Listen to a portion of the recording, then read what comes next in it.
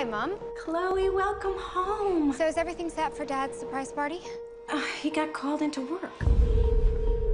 Hi, sweetheart. Hey. Welcome aboard Pancon Flight 257 to London.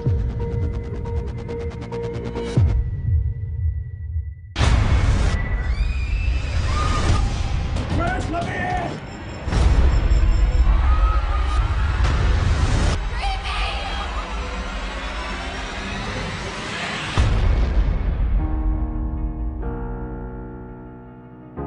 People from all over this plane have simply vanished.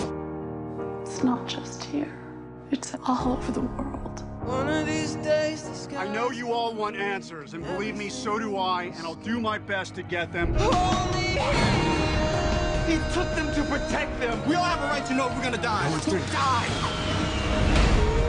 Irene knew this was coming. How could she know that? I just really need you to know how much I love you, no matter what happens. Dad? Talked about would never do something like this. I have no spoilers, no flaps, no elevators, and if I run this thing dry, no reverse thrust. I need some room. Looks like the end of the world.